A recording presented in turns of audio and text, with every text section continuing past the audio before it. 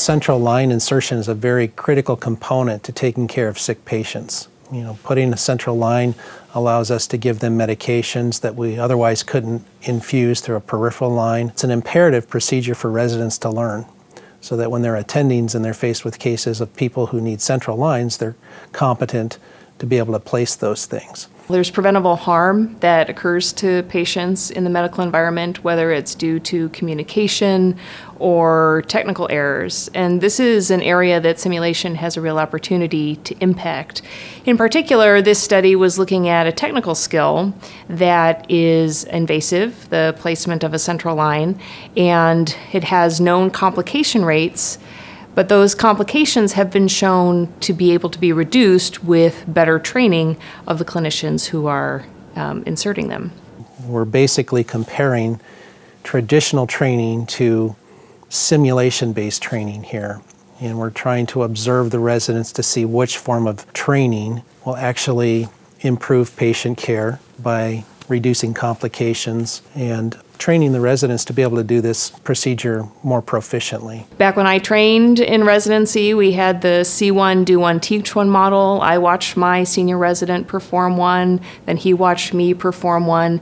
At that time, there wasn't the opportunity to practice on a mannequin. Sim based training will actually improve the overall process of insertion of central line and reduce the complications, most specifically the infectious complications, and then the mechanical complications. The way the study was performed is that we trained uh, residents in two different modes so we could really understand how the training had the maximum impact.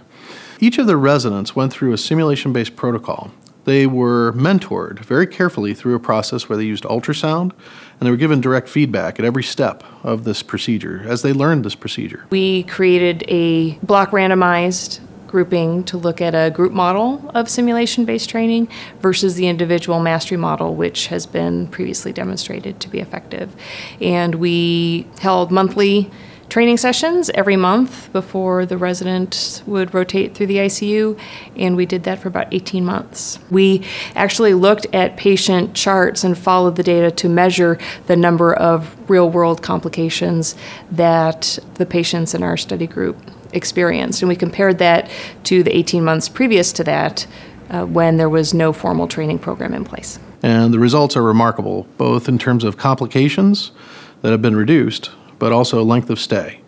What this means to me is that it's not just a reduction of suffering, morbidity, and mortality, but also a financial impact for every one of our patients who have been met by a resident who's been trained through this mechanism. The majority of the savings come from a reduction of the length of stay and from a reduction in the utilization of critical care resources inside our hospital. We've done an economic impact study with the Center for Outcomes Research here at the University of Illinois College of Medicine at Peoria. The results uh, seem to indicate that there's been over a million dollars worth of savings that have been had because residents have been able to perform at that top level.